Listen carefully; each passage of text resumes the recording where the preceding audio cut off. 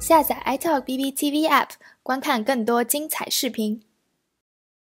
今天，特朗普在记者发布会上说，他欢迎微软收购 TikTok。在八月一日的时候，微软与字节跳动就出售 TikTok 美国业务进行了高层会谈。美国财政部部长姆努钦、国务卿蓬佩奥及白宫法律顾问希波隆等人相继支持这场收购。根据初步的收购协议，TikTok 整体业务估值为五百亿美元。微软将以数十亿美金全盘接管，并负责 TikTok 在美国数据安全管理。媒体报道，特朗普更希望禁止 TikTok，而并非支持其业务出售。但不久以后，他迅速改变了主意。这背后极有可能是白宫贸易顾问纳瓦罗等强硬派施压的结果。鉴于 TikTok 在美国广受欢迎，以及美国大选即将来临，川普迅速改变了说法。八月三号，他发表讲话，说他不介意微软收购 TikTok。为了达成合作，字节跳动已经做了更多让步。他同意完全剥离 TikTok 在美国的业务，包括未来三年在美国增加一万个工作岗位。消息一出，引发了中国国内舆论的震荡。有人说张一鸣软弱，字节跳动此举给中国的海外企业开了个坏头。也有人反驳说 TikTok 只有这一条路可选，而且是比较好的一条路。TikTok 的美国公司总经理帕帕斯。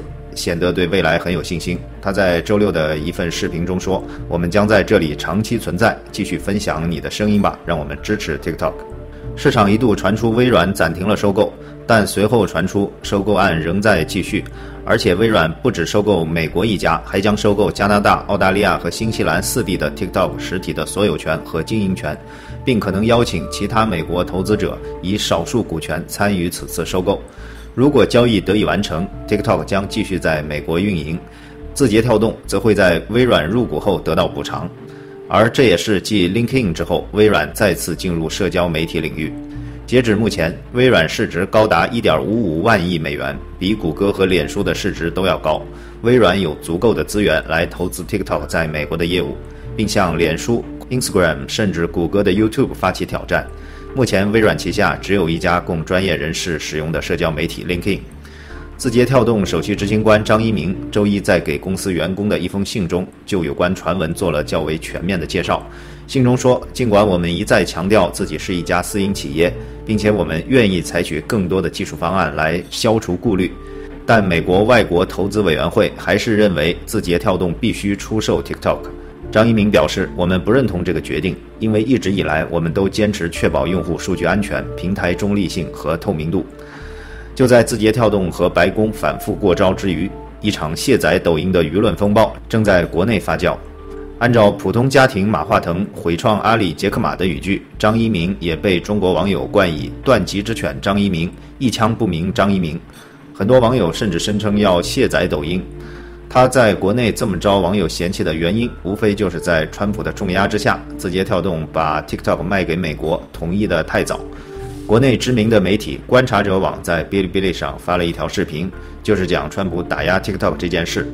这条视频半天播放量已经超过了一百五十万，弹幕有三点八万，还收获了十多万枚硬币，上了 B 站的全站热门排行榜。按常理说，中国企业被美国欺负的时候，网友们的常规画风都是疯狂吐槽川普，支持中国企业。但在 TikTok 事件里，网友们居然一边倒的嘲讽张一鸣和他的字节跳动。